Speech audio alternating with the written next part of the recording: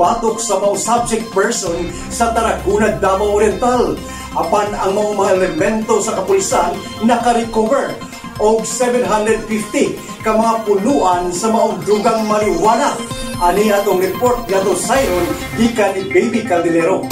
Ang warrant operation sa Piagyubaan na sitio Pagbaluyan, Barangay Tubaon, Tarragona, Davao Oriental. Sa maong land owner sa maong subject person nga si Alejandro Magandam kalabot sa gi-issue nga search warrant na number 169-169-2021 ni Honorable Judge Angelita Alfonso Tumanda, RTC 11 Judicial Regional Branch 5 City of Mati, Davao Oriental. Nga pinitsahan Marso 11 ng tuiga. Kalabot sa kasong Republic Act 9165. Sa paghidangan sa mga operation team, Marso 16 ng tuiga. Sa mga bandang alas 4.25 ang takna sa hapon.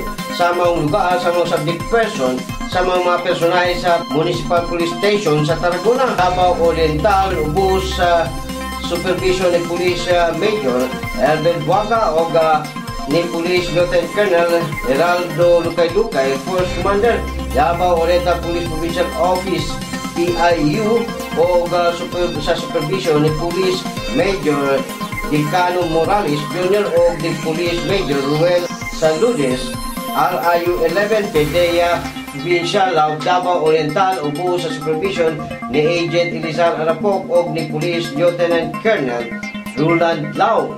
Kundi ang mga operation team sa mga subject person ang tago o bisibat nga po tilang ipangita sa iyang pinuyanan sa mga naisutang lugar apan na diskubihan sa mga operation team ang uh, ah, 700 ka mga punuan mga drogang marijuana nga gibanabanaan nga naa kini sa mong kantidad sa 127,500 pesos nga ila kining gisunog sa mong area ug alang sa gihimo nilang ebidensya.